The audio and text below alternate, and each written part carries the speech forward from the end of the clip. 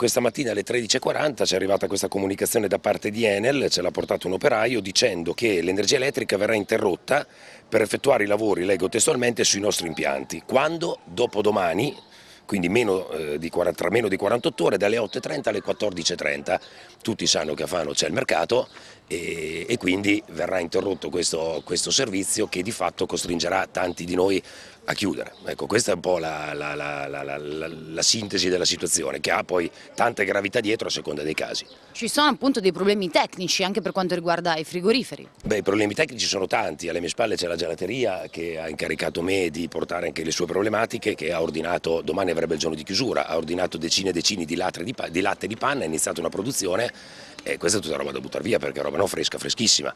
Noi, come tanti altri, parlo di Caffè del Teatro, parlo di Darderi, parlo della Pidineria, eh, parlo del Barmeri, e qui c'è la roba da togliere di frigo, c'è una mattina che è delle poche, soprattutto di questi tempi cui si lavora eh, molto bene con questo tempo, dobbiamo tenere chiusi.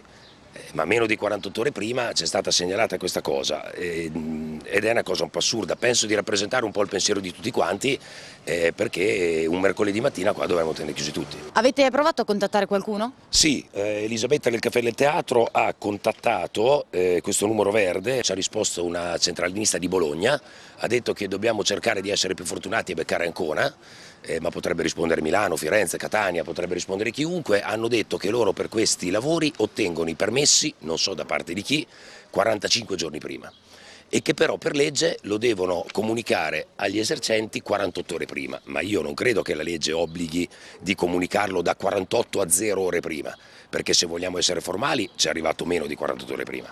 Credo che la legge dica almeno entro 48 ore prima. Ovviamente siamo scesi sotto le 48 ore probabilmente perché siamo in Italia. Anche lei ha il negozio, è locale proprio in piazza Andrea Costa, per cui nel centro, nel cuore del mercato. Sì, e ci provoca un grosso disagio perché appunto mercoledì e il sabato in questo momento di crisi sono gli unici momenti in cui si lavora un pochettino di più e ci permettono di respirare, togliendoci uno di questi giorni ci provoca un forte disagio, non penso solo a me ma a tutti quanti gli esercenti ambulanti che lavorano in questi giorni. Ecco, molti esercenti ancora non ne sono venuti a conoscenza. Anche perché le pescherie aprono domani, hanno il cartello attaccato fuori e non si riescono neanche a organizzare per il mercoledì. Quindi oltretutto chiami a Enel e casca la linea, quindi non ti danno spiegazioni e non si sa come comportarsi. Insomma. Io proverò a richiedere dei danni, ma non so se si riuscirà a risolvere qualcosa.